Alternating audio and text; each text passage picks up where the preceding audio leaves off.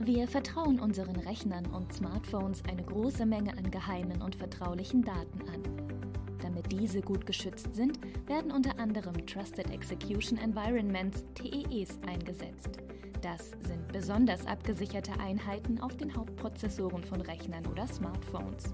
Eine bekannte Lösung für TEEs ist Intel Software Guard Extensions, kurz SGX.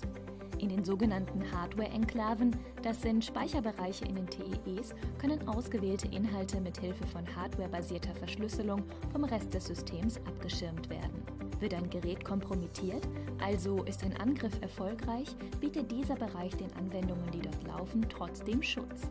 Daher sind TEEs auch ein attraktives Ziel für Angreifer. Forscher des Sonderforschungsbereichs Crossing fanden in einer ihrer Arbeiten zu TEEs jedoch Schwachstellen in den Enklaven von Fingerabdrucklesern in Laptops bekannter Hersteller wie Lenovo, Dell und HP. Sie wurden auf das Problem aufmerksam gemacht und haben die Sicherheitslücken bereits geschlossen. Doch wie können solche Sicherheitslücken nicht nur in Einzelfällen, sondern flächendeckend und effizient gefunden werden?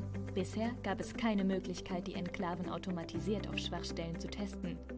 Daher haben unsere Forscher T-Rex entwickelt. T-Rex nutzt symbolische Ausführung, um zu überprüfen, wie Eingabedaten den Programmfluss einer Enklave beeinflussen und damit potenziell vom Angreifer für unautorisierte Operationen ausgenutzt werden können.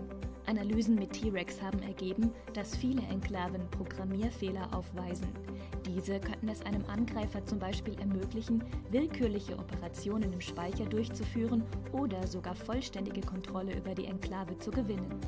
Mit T-Rex können Entwicklerinnen und Entwickler ihre Enklave nun analysieren und erhalten einen ausführlichen Schwachstellenreport.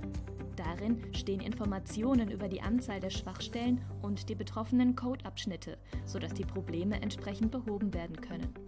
Da der Einsatz von TEEs immer stärker in den Fokus der Industrie rückt, ist es umso wichtiger, Vertrauen in diese Technologie zu schaffen. Denn jede TEE steht und fällt mit der Sicherheit der Software, welche in der TEE eingesetzt wird.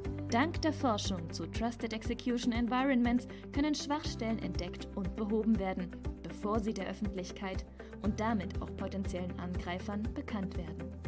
Daran arbeiten die Forscherinnen und Forscher der TU Darmstadt und der Universität Duisburg-Essen im Sonderforschungsbereich Crossing.